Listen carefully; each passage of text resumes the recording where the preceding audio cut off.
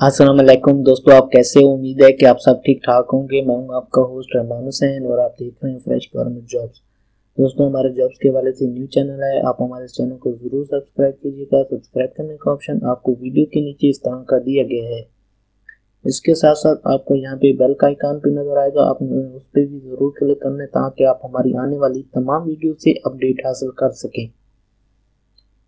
ایک سرکاری ادارے میں مدجہ ذیل اسامیوں پر درخواست مطلوب ہیں تو آپ دیکھ سکتے ہیں کہ ایک سرکاری ادارے میں پاکستانی شہریت رکھنے والے افراد کے لیے مدجہ ذیل اسامیوں پر تقرری کے لیے درخواستیں مطلوب ہیں۔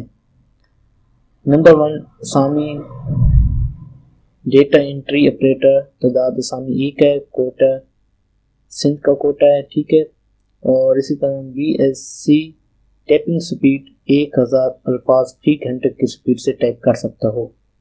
نمبر دو پہ ایچ ایس ایم اسامیوں کی تعداد ایک ہے اور یہ پنجاب سے ہے۔ ٹی اے ای متعلقہ ٹریڈ میں تجربہ رکھنے والے افراد کو ترجیح دی جائے گی۔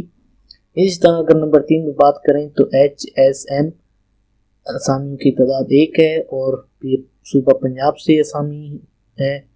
ڈی اے ای متعلقہ ٹریڈ میں تجربہ رکھنے والے افراد کو ترجیح دی جائے گی۔ اس کے علاوہ ایچ ایس این اسامی کی تعداد ایک ہے اور یہ اسامی سندھ والوں کے لیے ہے۔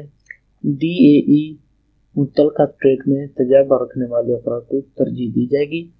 ایچ ایس این اور اسی طرح اسامیوں کی تعداد ایک ہے سندھ کے لیے ڈی اے ڈی ٹھیک ہے۔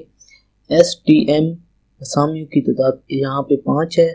دو سندھ والوں کے لیے، ایک اے پی کے کے لیے، ایک بلوچستان کے لیے، ایک گلگت بلتستان کے لیے۔ میٹرک سینس کے ساتھ ہونا چاہیے، ٹیپنگ سپیڈ تیس الفاظ فی منٹ ہونا چاہیے، ٹھیک ہے۔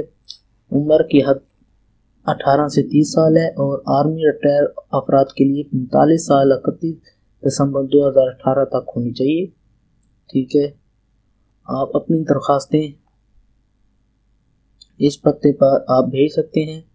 کمانڈ نیٹ تین سو چار spare D P E M E خانے وال ٹھیک ہے۔ تو یہ تھی ہماری آج کی چھوٹی سی ویڈیو۔ اگر ویڈیو اچھی لگی ہے تو اس کو لائک کر دیں۔ ہمارے چینل کو سبسکرائب کر لیں۔ ملتے ہیں پھر کسی اچھی ویڈیو کے ساتھ۔ مجھے دیجیے اجازت۔ اللہ حافظ۔